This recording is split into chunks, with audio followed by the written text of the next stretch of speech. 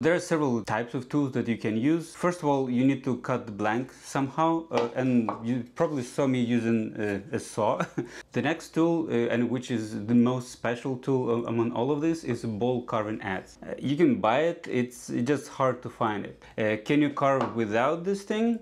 Probably, uh, but it's just a little bit slower. Another tool that I used uh, to do some refinements for the inside is uh, spoon gouge. Uh, I had it uh, from Narex set uh, that I bought uh, a while ago, so I just use it because I just have it. then there's a less special tool, it's just an axe. the only point that you want to have a reasonably short handle and you really need to sharpen it because this one is razor sharp. And tool that I have been using so far is a draw knife, one of my favorite tools. And the final thing that you actually need, which is kind of obvious, is this thing, the bench or something like a bench